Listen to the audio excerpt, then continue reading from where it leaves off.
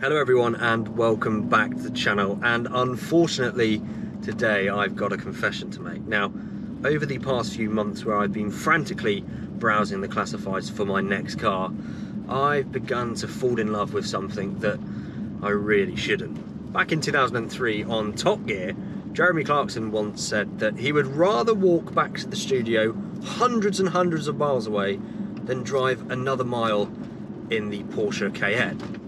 It has the sex appeal of a camel with gingivitis, and frankly, I would rather walk back to the studio than drive another yard in it.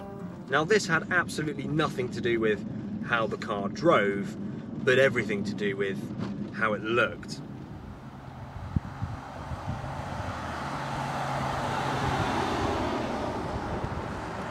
However, now in 20 22, I think that the original Porsche Cayenne is simply stunning.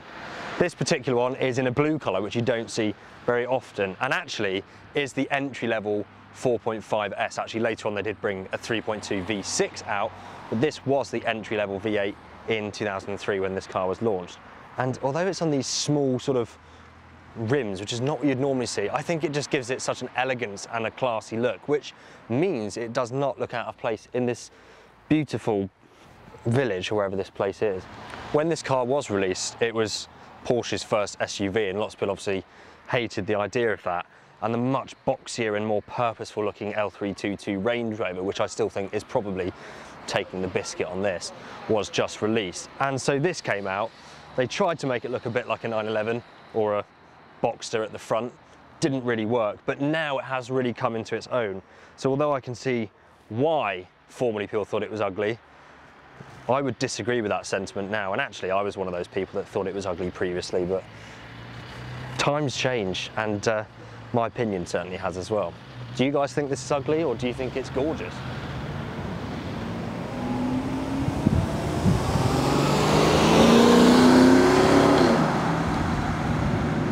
So now you know I love the way that this thing looks, let's see if the same thing can be said for the way in which it drives. So as I said, this is a Cayenne S. It's a 4.5 litre V8, but don't be fooled. It only produces around 340 horsepower, which is around the same as what BMW's 3.2 litre S54 was producing at the same time. And of course, this being a 4x4, it's very heavy, over two tons in this Cayenne. So this 4.5S isn't particularly a rocket. Now what I have heard that if you go for a turbo variant of this 4.5 engine, which is 450 horsepower, or you can even get a Turbo S, which is a mind-boggling 520 horsepower, they are indeed rockets. But this, still, put the foot down at 40 miles an hour, up a hill, there's 60 as we change into fourth gear, and it picks up really, really nicely. Now, Christian at Heel and Toe Cars, whose car this is and where it is currently advertised for sale, did ask me to just give it a little of beans on these country roads because he seems to think that this is essentially a jacked up Boxster. Now, having owned a Boxster for almost a year and recently have sold that, I feel like I've got a pretty good idea of how that feels dynamically. And so I'm going to take Christian's advice. I'm going to pop it across here into manual mode. I've got the Tiptronic buttons where I can select the gears. Let's go down into third gear. That's always a nice starting point. 35 miles an hour. We're just gonna gently thread it around these corners and see how it feels. Up into fourth. And that Tiptronic system, you know, you can tell it's old, but it still changes nicely. It does what you want when you ask it to and they're in a nice place actually. It does feel like you can engage with the gearbox as you're pushing on. 60 miles an hour, then we've got to brake a little bit, going to downshift into third. Brakes feel really confident actually, really nice feel to those. And if we push it around this corner a little bit faster than you might want to go, surprisingly, what I felt there is the steering was really well judged midway through that corner. Nice and light and pretty responsive. Way more responsive than a Range Rover, but even more responsive than you would expect this thing to be. So initial impressions then, you can tell that this car is around 20 years old. Not because it's bad, But compared to like a modern day Audi, for example, an Audi SQ5 that I've driven or an SQ7, they're much sharper, they feel lighter, and they're more poignant. But for a 20 year old car that can be had for well under £5,000, this feels surprisingly sharp. And I'll let you into a secret I would much rather drive one of these cars than one of those aforementioned newer Audis. Although at the time when this car was released, it was Porsche's first SUV and arguably their first sort of family or boring or sensible car, it's got a real sense of character in here.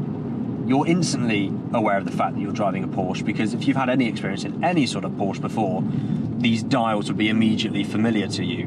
Gorgeous that they are. We've got a battery voltage dial over there, speedometer, a central sort of gauge with a digital display, fuel counter which is going down surprisingly quickly, and temperature big tachometer or rev counter on the left, and oil temperature. You everything you need in front of you, which is fundamentally and inherently Porsche. Yet then it's so confusing because it's juxtaposed with this incredibly high driving position. It does remind me a lot of my previous Range Rovers. But then what doesn't remind me of the Range Rovers is the way that it just goes round corners. It's really quite impressive. When you're driving around town, the steering's a little bit lethargic, quite heavy, a little bit heavier than I would like perhaps. But as soon as you go round a corner at any sort of speed, it does wake up a little bit and comes alive to a certain extent. I'm going down speeds this road, and admittedly it's about the speed limit at 60. I would never get anywhere near this in the Range Rover, and the Range Rover is not a car you really want to drive like that, or at least not a standard diesel model. But this, I'm having a lot of fun pushing on, but I've also been really enjoying wafting around and sitting back in these gorgeous, beautiful seats. Actually, they're really, really comfortable. Proper, proper leather in these, and we've got five different levels of heated seat available. And when you get to number five, your ass is quite literally on fire. So let's get it down into second gear, do a nice little pull here. We're at about 30 miles an hour. This time we're on the flat. And I'm just going to slowly plant the throttle as we go to this straight here. Go all the way up to the 6,500 RPM red line at 60 miles an hour. And that is a really, really wonderful way to propel yourself along the road. Oh, that sound as well.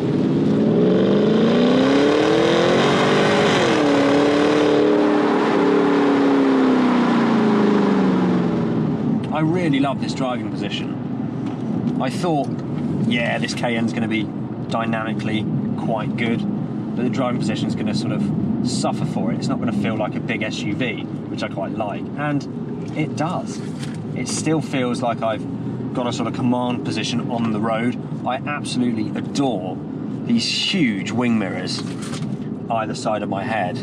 They're brilliant, absolutely gargantuan. And of course, this being a Cayenne, I've got not only my two visors, I can pop one over there and then do this. Really good. Got that just like I would in my Range Rover, but I've also got this auxiliary one here for when the sun just happens to be in that tiny little three degree portion of the sky. I don't know why they did that, but I love the fact that they did. Also, a quirky feature on this car, you did see it on some models from around the time, are the parking sensors. Now, there's no camera, and it does have front and rear sensors, but it's in the form of these lights, some at the front and some at the back, which are positions that I can see them in my rear view mirror. I'll demonstrate for you now.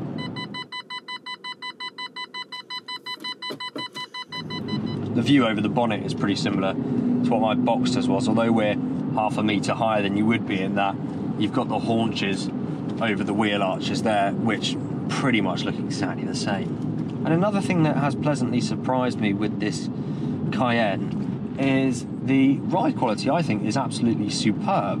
Now, of course, it's going to vary from car to car. I know that the turbos as standard came with the more sophisticated sort of air suspension system with lots of configurability. This is a more frugally spec'd early Cayenne S model. But even so, the ride is just super, super lovely. It's a really nice balance between firm and soft. Now, the only thing I won't have done today is some sort of motorway mileage at 70 miles an hour, but cruising down these B roads at the national speed limit, which is 60, it rides the bumps really, really well. It doesn't feel particularly sharp or firm. But then again, when you sort of throw it into corners, it seems to just stiffen up a little bit, or certainly be set up in a way that at those higher speeds, it gives you a bit of confidence. But yeah, I mean, pottering around now, it's really quiet and it's pretty soft.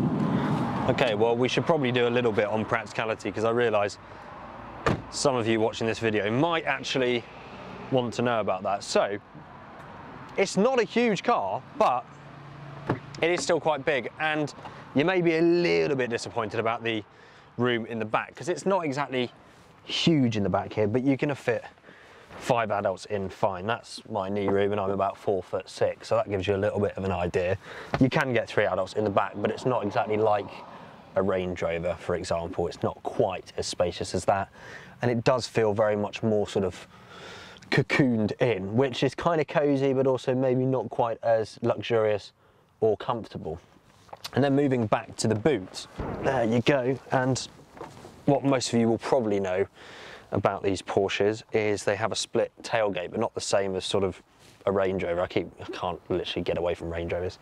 If you do this, you can open up this glass section. So, so if you just got your shopping bags, you want to just pop something in the back, that's the nicest way to do it. But it's potentially at the cost of your life if you're not careful. So I love it. I think it's just a super well. I, like, I actually really like this sort of metal scuff plate as well. Proper purposeful exhaust at the back. This, I believe, to be rear lights from a later model. These are not original lights on this actual car. This is a 2003 car and this would have had the more sort of plain without these white bits on the back, which I really, I prefer the older ones to be honest. But yeah, practicality wise, I mean, that's it really, isn't it? Should we look at the engine as well? Let's do that. So, engine bay, see if we can open it. Oh, and this car, I have to say, in and out, mint. That's what I love. That's what, I mean, to be honest, I'm not gonna go on about it, but the heel and toe uh, cars Instagram page I've been following for a little while now, and everything that comes up on there is not only mint, but it's in the most glorious specifications, like this Cayenne, for example. You just don't see them A in this color with that interior, and this unmolested and gorgeously looked after. Look at that engine. That is a beautiful engine.